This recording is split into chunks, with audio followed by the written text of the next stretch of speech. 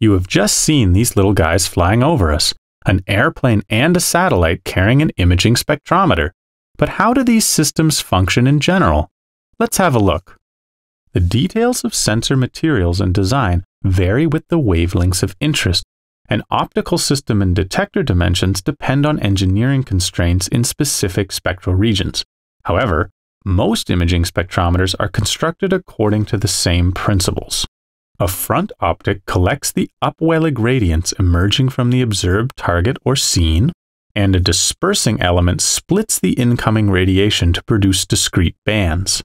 Thereby, two general types of systems are used for air and spaceborne observations diffraction gratings that use an optical component with a periodic structure splitting and diffracting light into several beams sent in different directions, and prisms that use the dispersion of light into its spectral components by means of, well, a prism.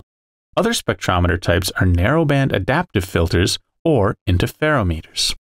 After spectral separation, a detector assembly converts the integrated irradiance of each pixel into an electronic signal to be amplified and processed by the sensor electronics. Finally, an analog digital or AD converter transforms the signal to be stored as discrete digital number values, representing the image pixels. Thereby, a scanning process converts the radiance received by the sensor into a continuous, time varying optical signal. There are different scanning systems with resulting differences in data acquisition principles and properties.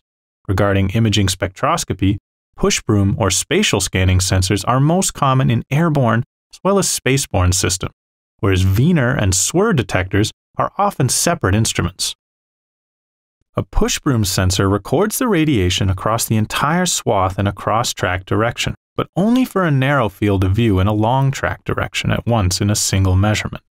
The recorded radiation is split along the spectral direction of the detector array into hundreds of continuous wavebands and read out the array before a new line is recorded.